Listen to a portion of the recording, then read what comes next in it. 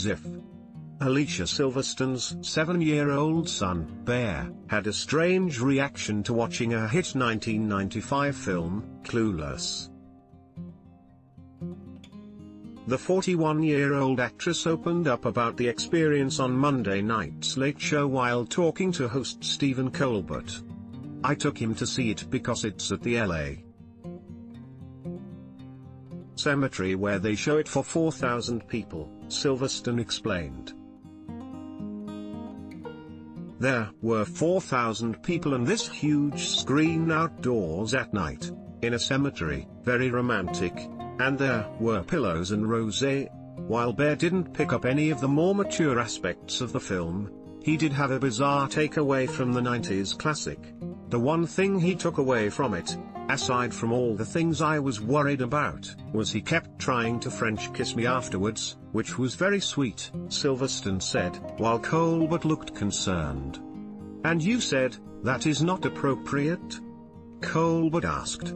I just kept my mouth closed. Silverstone replied. That's what I did. And I just giggled. It's super sweet.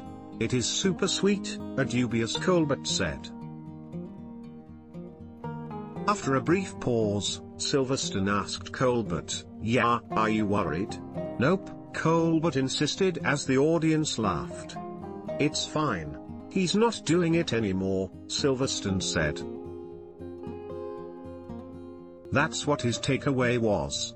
Silverstone is currently playing another eccentric mom, Bonnie, in her new sitcom, American Woman, and recently opened up to E.T.'s Leanne Aguilera about her son's impression of the role. My son came to the set when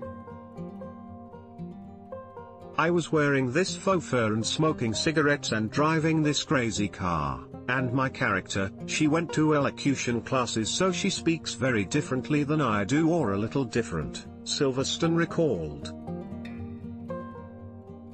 I speak very California lazy, and she has this very refined way of speaking. So I would always say, darling, darling. And so whenever my son asks me, what are you doing? I say I'm going to darling because that's the only way he remembers what I'm talking about. For more from Silverstone, watch the clip below. Related content Watch Alicia Silverstone revisit Cher from Clueless in super fun lip sync battle teaser Alicia Silverstone says she's doing great after filing for divorce from Christopher Jarecki. Exclusive, Alicia Silverstone files for divorce from husband Christopher Jarecki.